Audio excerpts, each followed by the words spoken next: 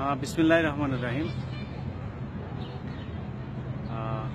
আপনারা নিশ্চয়ই জানেন আজকে আপনাদের সামনে কেন আসা। আপনারা কেমন আছেন জানি না, আমি ব্যক্তিগতভাবে ভালো নেই। আসলে সবাই সব কিছু দেখে চুপ থাকতে পারে না। সবার চুপ থাকার মতো ধৈর্য থাকেও না। আমি নিজেও ব্যক্তিগতভাবে তেমন একজন মানুষ। আজকে বাংলাদেশের যে অবস্থা সেটি দেখে চেয়েছিলাম কিছু বলব না, তারপরেও কিছু খুব গুরুত্বপূর্ণ কিছু কথা বলার দরকার। এটা কোনো রাজনৈতিক দলের পক্ষে, বিপক্ষে, কাউকে সুবিধা দেওয়া, অসুবিধা করার জন্য না, খুবই প্রাসঙ্গিক কিছু কথা।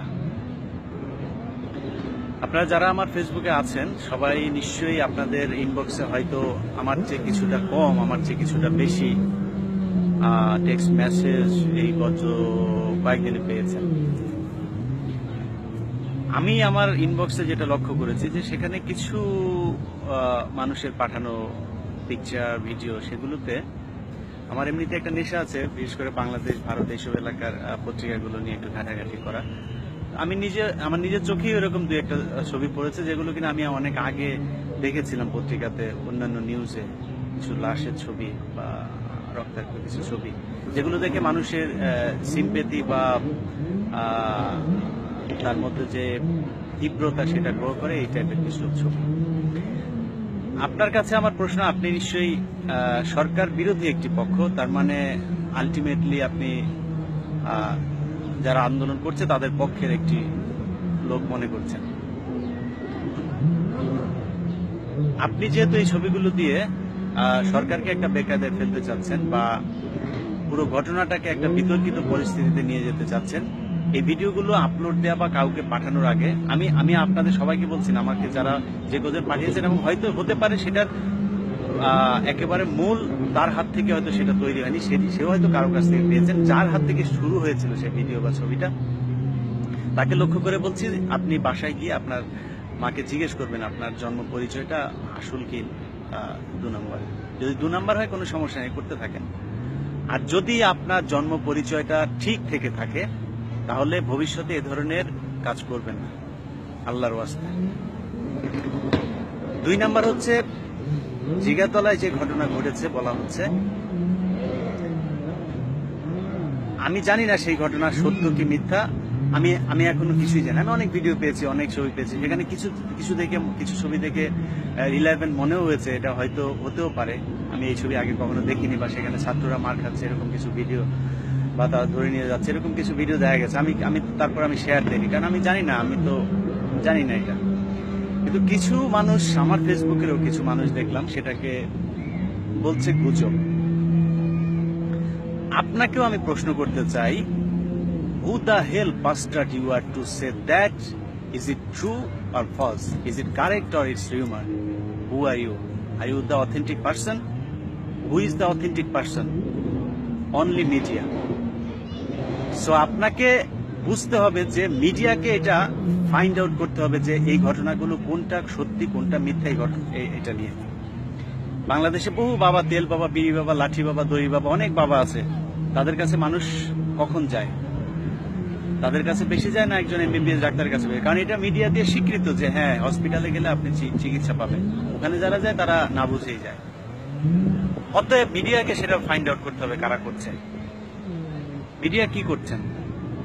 আমি মিডিয়ার যে নিউজ দেখছি, সেখানে ওই ধরনের কোনো নিউজ নেই। আপনারা সেখানে গিয়ে লাইভ করছেন না কেন? দুই সালে বিডিআর বিদ্রোহের সময় major general, lieutenant colonel colonel তাদের বাসার ভেতরে আমরা ঢুকে ছবি একেবারে বেডরুম পর্যন্ত গিয়ে তাদের ছবি নেওয়া হয়েছে। সেই, সেখানকার চাইতেও কি সেন্সিটিভ জায়গা? জিগাতলা বা ধানমন্ডির আওয়ামী লীগ, যুবলীগ, ছাত্রলীগের কার্যালয়? আপনারা সেখানে ভিডিও করতে দেননি।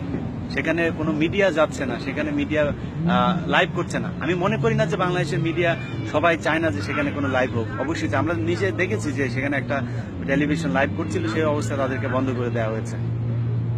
আপনি মিডিয়া যখন পারছেন না, তার মানে আপনার যে দায়িত্ব, সে দায়িত্ব আপনি পালন করতে পারেননি। এখন প্রশ্ন হচ্ছে, আপনি দায়িত্ব পালন করতে পারছেন না কেন? যদি আপনি কোনো চাপে না করে থাকেন সেটাও আপনাকে জানাতে হবে। কিন্তু আমরা এখন যেটা দেখছি আপনি দায়িত্ব পালন করছেন না। সো যারা আন্দোলন করছে আমি এই কথাটা বললে হয়তো আমার নামে একটা মামলা হবে রাষ্ট্রদ্রোহ মামলা বা কিছু ডোন্ট কেয়ার ডোন্ট কেয়ার এক হাজার মামলা দেন আমার নামে, ফাঁসির মামলা দেন যা ইচ্ছা দেন কোনো সমস্যা নেই। মিডিয়ার গাড়ি যেখানে পাবেন সেখানেই চালায় দেবেন।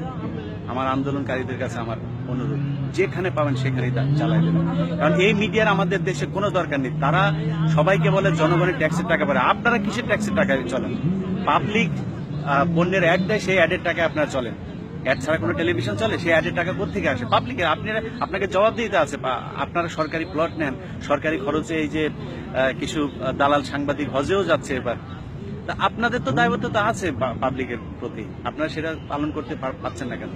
অতএব এদেরকে চালায় দেবেন। কিন্তু একটা জিনিস মাথায় রাখতে হবে, সেখানে যে টেলিভিশন রিপোর্টার বা ক্যামেরাম্যান যারা থাকে, তারা খুবই জুনিয়র লেভেলের বা মিড লেভেলের সাংবাদিক। যারা উপর লেভেলের সাংবাদিক, তারা কখনো ওখানে যায় না। তারা প্রধানমন্ত্রীর সাথে আমেরিকাতে যায় ঘুরতে।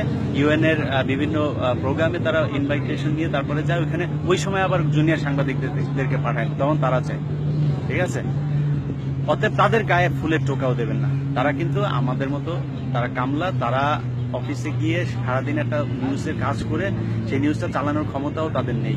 এটা এই নিউজটা যাবে কি না যাবে সেটাও তার সিএনই বা সম্পাদক, উপসম্পাদক তাদের তাদের উপরে ডিপেন্ড করে।